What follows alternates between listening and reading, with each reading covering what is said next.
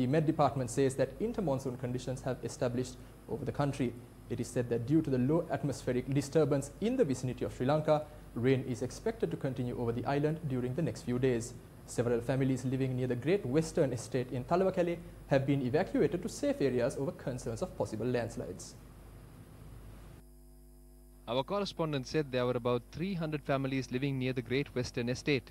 The landslide risk had been issued due to the heavy rains which was being experienced since yesterday. Our correspondent said the families living in landslide prone areas have been temporarily relocated to a Hindu temple in the estate.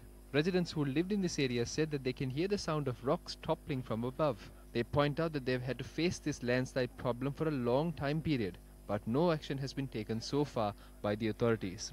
The Assistant Director of the Disaster Management Center, Pradeep Kodippili, said that people living in hill areas should take care with regard to landslides due to heavy showers that are occurring today.